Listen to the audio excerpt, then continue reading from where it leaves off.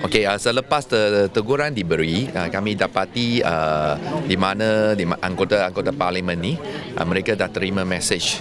Dan saya uh, menaruh harapan yang tinggi supaya uh, seluruh uh, anggota ahli parlimen dapat menggalas tugas dan menjalankan uh, memikul amanah yang telah pun dipertanggungjawabkan uh, supaya mereka pastikan diri hadir uh, di parlimen. Uh, kerana ini adalah uh, tanggungjawab mereka.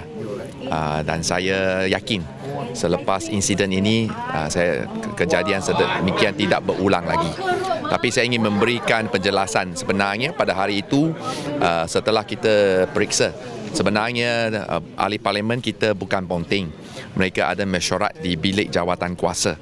Cuma terlewat sikit tapi ya, kami haraplah keadaan ini dapat diperbaiki uh, kerana parlimen perlu didajat dan matabatnya wajib kita bela bersama. I believe uh, to err is human, to forgive is divine. Let us move on, okay, not because of one incident, then we start to punish.